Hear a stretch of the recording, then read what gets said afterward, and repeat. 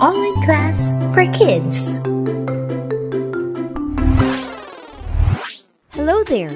Welcome to another exciting episode here at Online Class for Kids. It's fascinating how the human body works. We all start with small bodies as babies, and then our bodies fully grow up into adults over the years.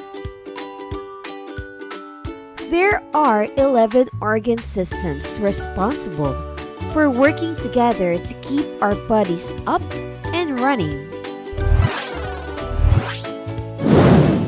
One of these organ systems is the skeletal system.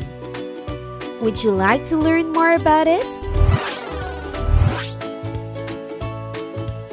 The skeletal system is composed of primarily bones. They primarily help with structure of the body. They also protect other important organs and produce blood cells. A newborn baby has more bones than an adult, 300 to be exact. This is so the other organs have room to grow, and when they turn into adults, some bones fuse together, and we're left with 206 bones. How amazing, right? One of the most important bones is the skull. It's responsible for protecting primarily the brain. The spinal column is composed of many small bones called vertebra. It is also responsible for protecting the spinal cord, which is part of the central nervous system. The rib cage is made up primarily of ribs. It is also responsible for protecting the lungs and heart. The biggest and strongest bone of the body is the femur. It is located in the thigh. The smallest bone in the body is the stapes. It is located in the middle ear and is responsible for hearing. It is as small as the grain of rice. These are only some of the bones in our body, but they are also some of the important ones. Let's review what we just learned.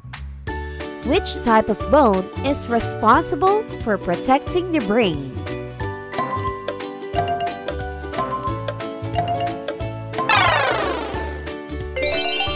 skull. Very good. Which type of bone is responsible for protecting the spinal cord?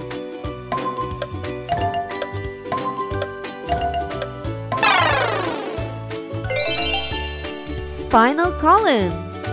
Very good. Which type of bone is responsible for protecting the lungs and heart.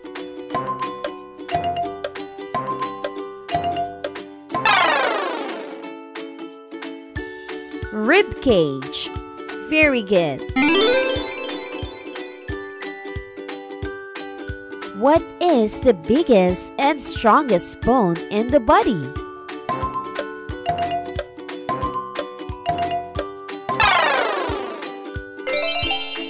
femur. Very good. What is the smallest bone in the human body?